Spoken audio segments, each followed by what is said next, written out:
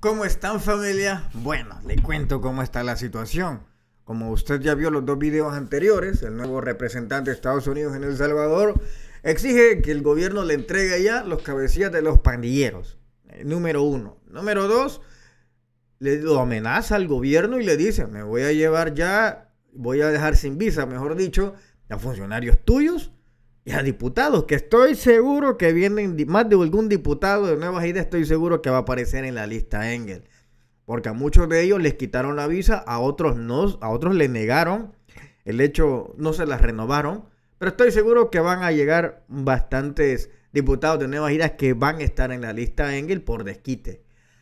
A esto, a estos dos, viene Milena Mayorga, quien es la representante de nosotros en Estados Unidos, y postea una foto de Joe Biden y ella, como pueden ver acá. Y viene y le deja un mensaje y le dice, lo que pedimos es una relación basada en el respeto, la independencia y la soberanía.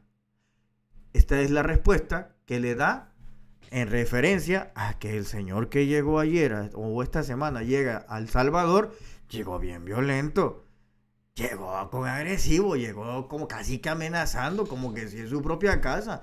En vez de llegar con una armonía, ¿verdad? Para ver si se enmiendan las cosas, no, llega amenazando. Así que esta es básicamente la respuesta que le da el gobierno y en la foto que se exhibe Milena Mayorga con Joe Biden. Y me parece perfecto. El respeto, la mano y todo, la fotito me parece muy bien, pero Veamos qué es lo que le dice las personas. Le encargo al nuevo gringo hacerle entender, gracias, excelente, tal vez así entiendan el Sleep Biden, que no mande a sus choleros a decir que tiene que hacer el presidente, cabal. Ese anciano cagado no es mi presidente. ¿Y cómo es el otro? También estaba bien joven. Excelente su trabajo, embajadora. Felicidades y gracias por todo lo que hace por nuestro país. Hola, Melena, ¿cómo estás? Dice. Ahorita los gorgojos están que se mueren. Claudia Ortiz ya no durmió ahora. Y ahí lo tienen. Felicidades, embajadora. A mejor persona no se le pudo haber encargado ese trabajo. El Salvador Merita, bueno, al respecto, así se ve bien despierto el Biden. Y ahí lo tienen ustedes, family people. Así que, bueno, Muchas gracias por todo familia y aquí lo tenemos, la gente excelente, cuidado, no se caiga el anciano, no se le vaya a dormir, Toda la gente pues ha empezado a trolear a Joe Biden. Ahí lo tiene. Así que estas son de las cosas en las cuales, repito, Estados Unidos debe de entender que no van a venir a amedrentar ni amenazar ni con su lista Engel, etcétera, etcétera. Pero a esto estoy seguro que políticamente se le va a ir con todo el gobierno a los delincuentes. Y yo espero que esta vez sí se vaya detrás de aquellos que le han robado al país por medio de los sobresueldos. Yo espero que pase eso.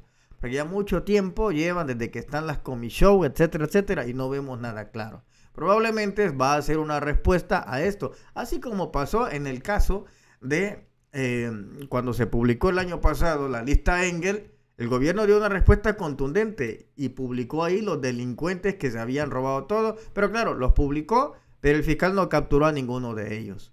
Es más, le recuerdo que Carlos Reyes lo llevaron a juicio y la misma sala que eligió nuevas ideas, la misma le dijo que él era inocente. Y al vato se le culpó que tenía más de 100 propiedades, de corrupto.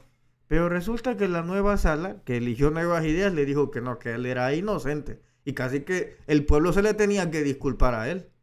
Entonces considero, y en esta nueva etapa, de que por salud mental y emocional, cuando ya tengan todos los elementos listos, tengan pruebas y todo, bien.